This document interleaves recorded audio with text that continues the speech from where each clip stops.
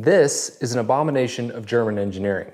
But it's not the saw. The saw is actually very good, which is why it's so popular. No, it's this right here. It's awful. And it's really a slap in the face to an otherwise notoriously good engineering culture. And today, I'm gonna fix it.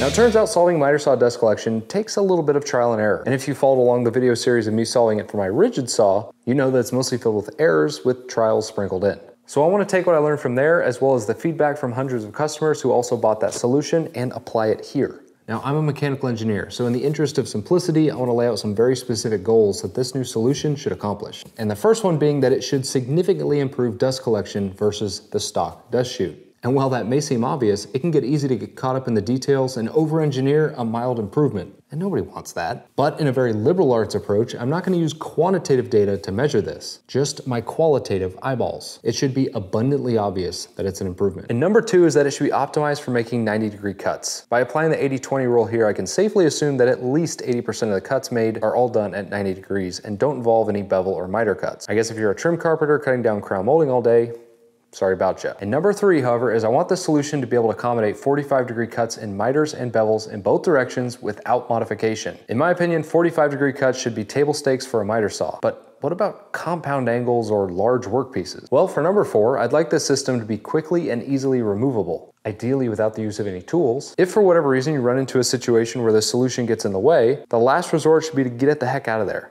And finally, for number five, there's gotta be an easy way to adapt to different dust collection hose sizes and adapters. One of the biggest sources of frustration when dealing with any dust collection system is the sheer number of non-universal hose connections. I think even in my little shop, I've got four varieties. So I'd like this thing to accommodate everything from the smallest shop vac hoses all the way up to a standard two and a half inch dust collection hose. All right, so the first thing we need to do is understand what we're working with. So I'm gonna make a series of cuts using the standard dust collection system with a vacuum hooked up. Then as a control, I'll clean up the saw, make the same cuts, but this time without any suction hooked up at all. And based on what I'm hearing from most people, it's not gonna be good.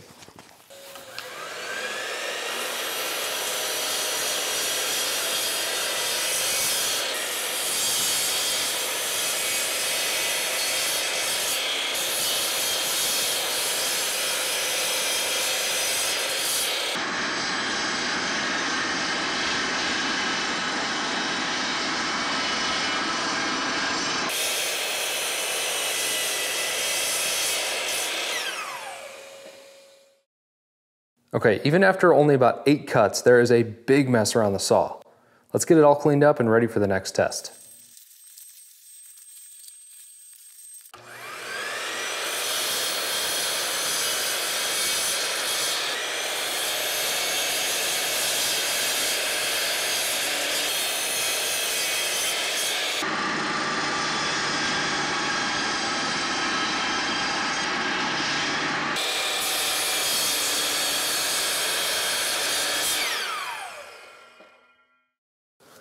You know, I even wrote a joke, fully expecting for both results to look exactly the same, but I gotta give credit to the Bosch engineers. It does something. I've also gotta totally appreciate how German over-engineered this thing is, even though it doesn't really work that good. You can see that with no hose hooked up, I've got this like rooster tail of sawdust going off in this corner, where with the vacuum was on, that just didn't show up and there's just kind of a general spread of sawdust everywhere. When I did the same test with my Ridgid saw, you literally couldn't tell if the vacuum was hooked up or not. But with all that being said, it's still trash. Just because you're better than that doesn't mean you're good. Okay, with the baseline and control tests out of the way, let's get this thing removed and see what we're working with in terms of mounting options.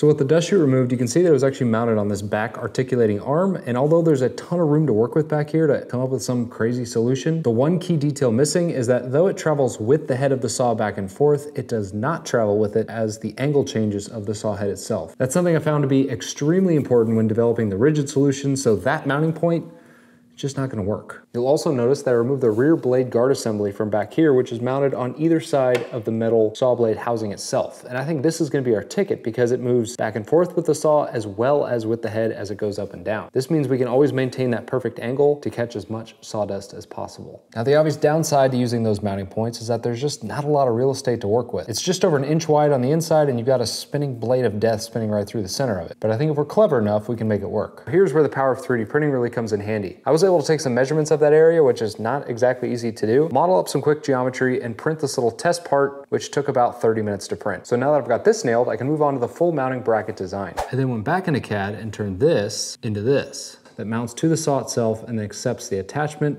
into a special recess on the bottom. And the whole point of this is to make it quickly removable via two thumb screws on each side of the housing. Plus with some internal self-centering geometry, it means taking the chute in and out should be quick and easy. And what you're left with is a really stable mounting place that we can attach our chute to. And the mating piece on the chute itself will look like this, fitting securely into the mount and attached with two thumb screws, one on each side. Now for the design of the chute itself. This was my first pass, and as you can see it conforms to the shape of the blade nicely and extends all the way down to the point of dust generation. But it's a little too intrusive. There's not much room for the materials you're actually cutting, and you can see as soon as you start moving the saw around, it just kind of gets in the way. Another issue is as the blade guard comes down, it's actually gonna interact with where the flap is. Ideally, I'd like the blade guard to fit inside the flap just like it is on the Ridgid. It just kind of keeps everything neat and tidy. Now for the next iteration, I shortened it up quite a bit and I flared out the end to make room for the blade guard. And you can see that on the back, I added the port for the suction and added kind of a four magnet flange for a quick disconnect for different size adapters. Because remember, one of my goals is to make this thing work with pretty much any kind of hose out there. And overall it looked much better, but there's still a couple issues. And probably the most prominent one is because the suction extends straight out the back in line with where the dust is gonna be generated, it doesn't leave me much room underneath the arm for those magnetic connections. So I'm gonna go this route, I kind of need to reroute it to one side or the other. Which is where version number three came in. You can see I added a gentle curve to the back end of this suction port to hopefully try and clear the arm. I also changed the geometry of the front opening to better accommodate the blade guard and create more of a natural flow into the dust chute. Because here's the thing, in fluid dynamics, whether we're talking about air, water, or air with sawdust in it, everything within a flow system will induce some amount of friction. And to promote more flow through it, you wanna reduce that friction when you can. So whenever I'm modeling this geometry and trying to think about how this thing's gonna be made, I've always got that in the back of my head. And after getting this thing mounted in the saw and testing some adapters on this back flange area, I realized that I still didn't have the clearance that I needed. So I'm gonna have to play with this angle a little bit. More importantly though, is that I don't think my magnetic flange idea is gonna work because I'm trying to use common off-the-shelf six by three millimeter magnets and four of them in this orientation just don't provide enough holding power to that dust collection hose attachment. And yeah, I could add more magnets or bigger magnets, but really this is just gonna increase the cost and complexity of making a bunch of these. So I think I'm gonna scrap the flange idea and just go with a friction fit, which honestly is just a lot simpler. And that's how I finally arrived at this. I like to say it was just version four, but it's really version 8. The biggest difference you'll immediately notice is the cool Bosch ish blue I started printing these in. It matches the saw a heck of a lot better, and I think it's gonna make the final product look great. But some of the more significant changes are in the geometry itself. Starting with the suction inlet, I've got the curve now at a point where it's clearing everything and it accepts a wide range of adapter sizes, again with a friction fit. I've also gone through and really optimized this shape to both clear the guard and strike a balance between trying to capture as much dust as possible without being overly huge and getting in the way. But there is one problem that I just can't seem to get around. And that is that this opening geometry doesn't work at 45 degree bevels. It works great at 45 degree miters, but not bevels. Now the quick removal feature is nice because if you're doing a bevel, you could just take it off, but then you have no dust collection. So I made a second version of the exact same chute, just with a narrower opening geometry that works at the 45 degree bevels. Now I wanna test both of these because my thought is that the dust collection at 90 degrees is gonna be much worse with this, but this works at all the angles, which is one of the key goals laid out in the beginning of the video. If it turns out that the wider mouth one is way more productive at catching dust, maybe I can offer this as like a bevel solution. Maybe if you do a lot of bevels, or you could buy a kit that comes with both. I don't know. Let's test them and find out.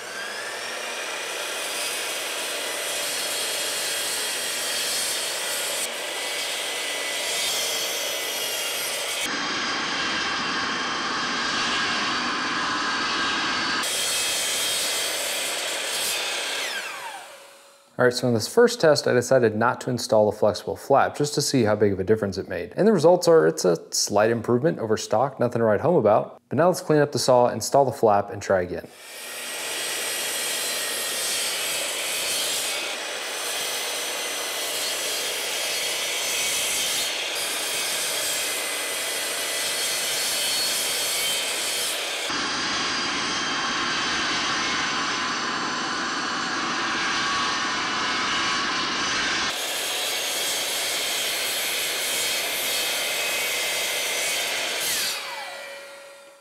Okay, so it turns out the flap makes a huge difference.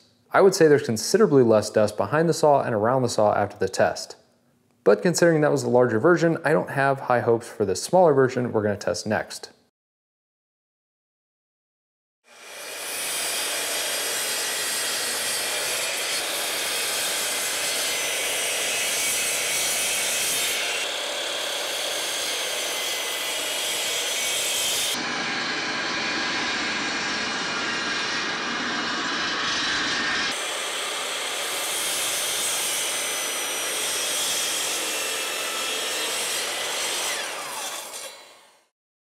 And after looking at the mess from that test, I was actually pretty surprised at the performance. Now, if I were a betting man, I would have put all my money on the larger one performing significantly better than the smaller one but it was a lot closer than I would have thought. Now the whole premise of the narrow one was so that I can achieve all the different bevel and miter angles like we talked about. But after I loaded it in the saw and tried the sliding bevel feature at 45 degrees, I was even getting some interference with this one, which means that to truly get a full range of motion across all the different miter and bevel angles, I'd have to make this thing even smaller, which in my opinion would just cut down performance way too much. So then I decided to put the larger one in the saw and try the different bevel and miter angles. And sure enough, miters at 45 degrees, both directions, no problem. I can even get all the way to 60 degrees and get the full sliding motion with no interference with the larger model. Now when I tried the bevel, I could actually achieve a 45 degree bevel without any sliding action. But when I try to engage the sliding action, that's when the interference So I'm gonna make a judgment call. The larger version can achieve a 45 degree bevel in both directions, just not sliding, which if we're honest, how many times are we making sliding beveling cuts?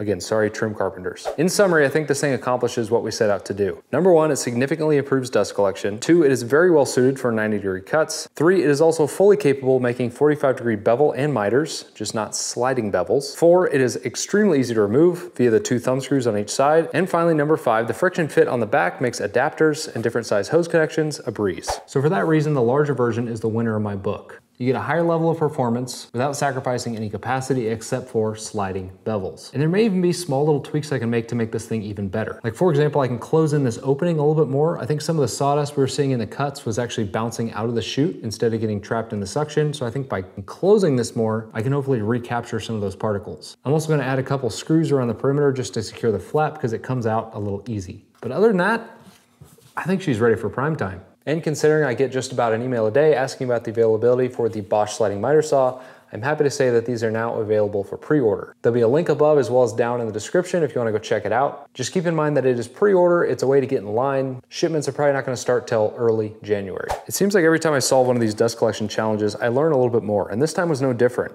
I went through a full design iteration, eventually landing on this design, which I think works pretty well. Now, is it gonna collect 100% of the dust?